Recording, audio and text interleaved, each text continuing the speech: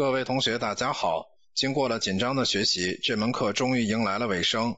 我相信啊，学完这门课程，很多同学啊都拓展了自己的技术边界。在这门课程里边，我们学会了怎么开发后端项目，怎么设计移动端的程序。原来我们觉得自己的项目经验比较少，而且呢技术含金量比较低。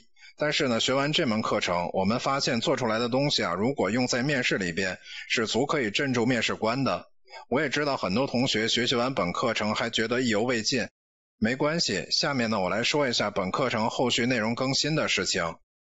大家也都注意到了，eMOS 这个项目呢还有很多模块没有实现，这一点呢，同学们不用担心。既然我许诺给大家一个真正企业级的项目，我就会继续的把这门课和这个项目更新下去。比如说呢，开发简单的功能，我会写到手册上面。例如呢，通讯录这个功能就比较简单，那么可以直接复用我们之前写的后端的外包方法，然后移动端呢套用会议成员页面的布局，这样的这个页面就做出来了。我们在为这个页面里边公司成员控件添加点击事件，那么用户点击之后，那么 eMOS 小程序啊就会自动拨打电话了。像这些功能比较简单的东西，我就直接在手册上面更新，而且更新手册的速度要远远比这个视频更新的速度快，所以呢，我们后续的开发速度可是要逐渐加快的。希望各位同学呢能跟上手册更新的节奏。那么除了手册更新之外呢，像什么重要的模块，由于技术难度比较大，所以呢我会采用视频更新的方式来指导同学们如何写程序。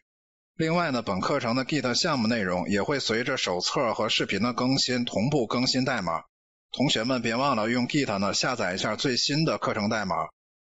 除了这门课程，我在慕课网上面也上线了很多的实战课，有讲 Docker 的，有讲数据库集群的，还有讲面试的，甚至说呢移动端支付的课程我也录制了。如果大家呢对我的教学方式持肯定态度的话，那么不妨呢你可以看一看我其他的实战课。我相信啊你在技术上的收获肯定跟这门课程是一样大的。又到了该说再见的时候，情绪上呢有些伤感。我在本课程的问答区和 QQ 群里边认识了很多热爱学习的小伙伴，我们每天积极的互动，我能感受到大家学习技术的热情。但是呢，没有办法，这门课程的大纲啊，就规划了这么多的内容。